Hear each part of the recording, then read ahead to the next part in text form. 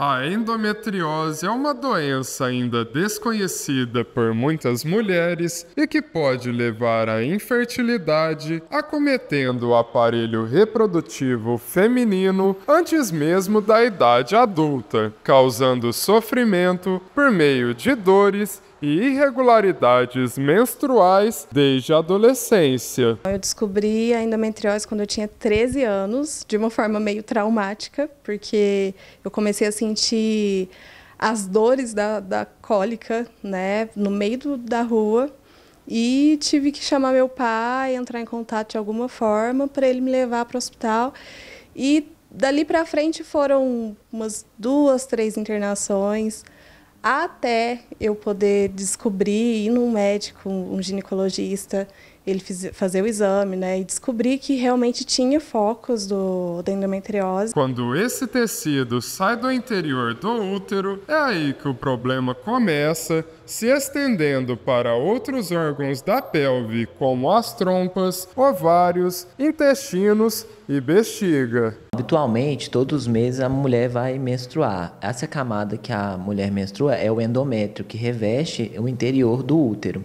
Quando existe esse tecido é, do endométrio fora do útero, a gente acaba é, causando uma inflamação da região pélvica e isso pode gerar dor nas pacientes e é uma, um problema crônico e geralmente progressivo. Aqui na imagem a gente vê é, os pontos pretos evidenciando o endométrio fora do lugar. O endométrio inicialmente ele está representado nessa camada interna rosa, mas quando ele vem para no meio do músculo do útero, por fora, na vagina, nos ovários, esse sangue que vai ficando acumulado, ele vai ficando mais escuro e aí dá o aspecto que a gente encontra nas cirurgias que são muito característicos da endometriose. A endometriose é popularmente associada à infertilidade, mas a Sociedade Brasileira de Endometriose e Cirurgia Minimamente Invasiva estima que uma a cada 10 mulheres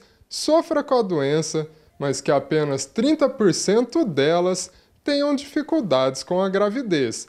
A Tuane, por exemplo, tem endometriose e daqui três meses vai ter a sua primeira filha. Foi uma surpresa. Eu não esperava que viesse tão rápido. Ah, eu estava planejando a minha filha né, para esse ano mas ela adiantou um pouquinho, alguns meses só.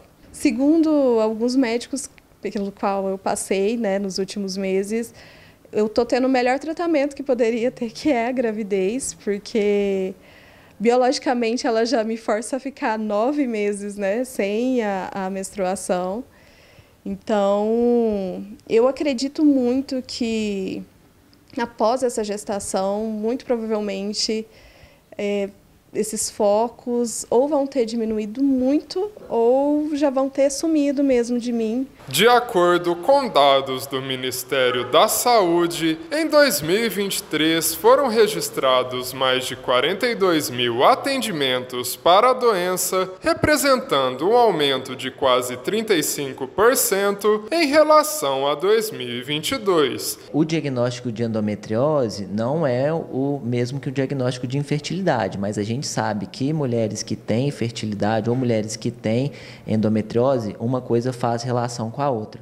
Por quê? Porque além de ter uma alteração anatômica, pode prejudicar os ovários, as tubas uterinas, né, que fazem parte ali do, do complexo que vai levar é, o espermatozoide a encontrar com o óvulo, a gente também sabe que é, tem uma questão imunológica que pode atrapalhar isso. Mas apesar dessas situações, nem sempre um diagnóstico é uma sina e pode acontecer a, a concepção, né, a gravidez, de maneira espontânea. A Ada, minha filha, ela é um presente para mim, né? Assim, eu estou esperando ela com muita ansiedade, assim, muito feliz mesmo.